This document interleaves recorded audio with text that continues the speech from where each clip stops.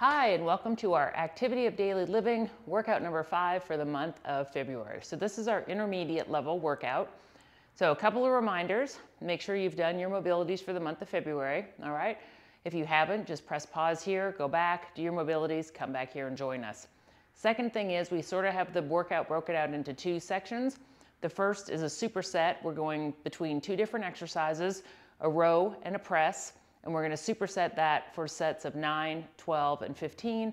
And then we're going to go into some fun higher intensity resistance training, metabolic conditioning, and make things really burn but feel really good and get a really good benefit. Okay? So we're not going to need a whole lot of equipment. So for those first two exercises, we're going to be doing a half kneeling single arm row and then turning around and doing a half kneeling single arm press. So you're just going to need something to kneel on. So I have my um, Airex pad, but you can use a blanket, a towel, anything you need, pillow, something just to make it a little bit more comfortable to kneel. And then we're gonna use our, I like to use my medium band for most things and my Angles 90 handle. You can just do this with the band itself, but it's just not gonna be nearly as comfortable, okay? The Angles 90 handle conforms to your grip. It's great if you've got arthritis, it's a lot more comfortable. Um, it takes up more space in your hand. It's ergonomically um, designed. So if you don't have one, no worries. You can still do all these exercises. This just makes it a little bit more comfortable. All right. So then we're going to need a um, one of your stretchy mini bands to do some no monies with. We're going to need um, another band to go around your legs to do a standing single leg abduction. So you can either use the stretchy one with the grippies in it, or you can use the same one you're doing your no monies with. It's personal preference. It's also what you happen to have on hand. We're gonna need a box or a bench or a step, something to step up on. And then we're also going to need a kettlebell for our high pull and catch. All right. So I think that covers it for the equipment and dumbbells, a dumbbell. We're gonna need that as well.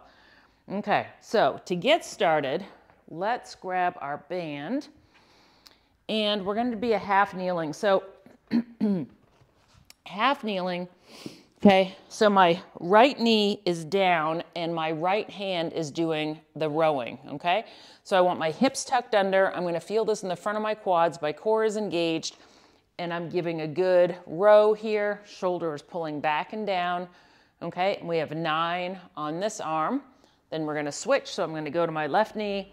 My left hand is gonna do the rowing. You notice my toe is tucked under to protect my knee okay? And you can row just palms down. You can do a little corkscrew. You can just do palms up. You can also do a neutral grip. So find whatever is most comfortable for you. So nine on each side. And then really, you're gonna turn around, put your whole hand in here, half kneeling again. You might wanna back up just a little bit. Okay, so my right knee is down. And again, I'm gonna press, control it. So you're really gonna feel your core kick in. Press it, control it back, press, and control. So the knee that's down is the same arm that's doing the work. So I have nine on each side of those.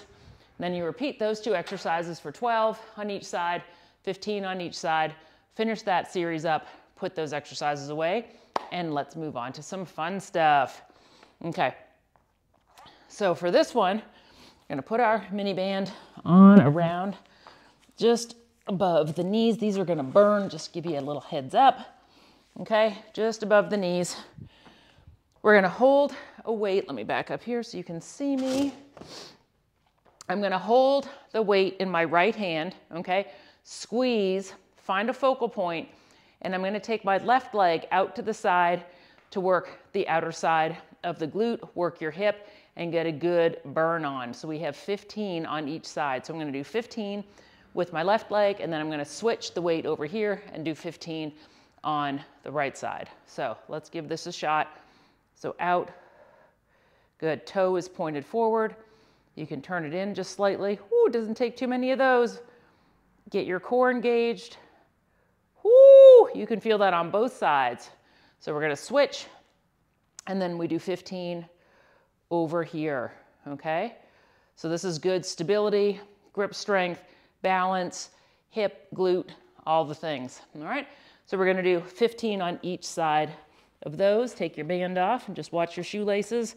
Make sure you always double check that your laces didn't come undone. Then we're going to come on over here to our step and we're gonna do suitcase style single leg step up. So what that means is the leg that's stepping is also the hand that's holding the weight. And I'm gonna do 15 on one leg and then I'm gonna switch legs, switch hands on the other side. So really pressing down, engage your core, come up with control, all right? And then when you switch, same thing, make sure we've got good knee alignment, pressing our whole foot down as if we're crushing something. Nice control, feel that in your glutes and your quads. And we're gonna set that down, we're gonna get our stretchy band, we're gonna do some no money. So you want this on your palms, thumbs facing out, we want our elbows tucked in, we're gonna just slide our hands apart, okay? And you're gonna feel this in your shoulders, a little bit in the back, a little bit in the chest, maybe even a little bit in your core. So you have 30 of these. And then the last move we're going to do is 15 hinge high pull catch with our kettlebell. So we're gonna do a little hinge, okay? Then high elbows and catch it. And as you can see with my catch, my hands just slid down around the handles. The weight never left my hands, okay? So again, a little hinge, up, up, up, up, up, slide it around and catch, okay? Show you from the front, a little hinge, a little high pull and catch, okay? So we have 15 of those. So you're gonna repeat all of those exercises for three rounds and then you go into your cool down, which as it has been for the last several videos is your one to 10 breathing. So you inhale for a count of one, exhale for a count of one. Then we repeat a little longer for two, release for two, so on and so forth until you get to 10. So there you have your fifth workout for the activities of daily living for the month of February. I hope you guys enjoyed it and we look forward to seeing you back here again soon. Bye for now.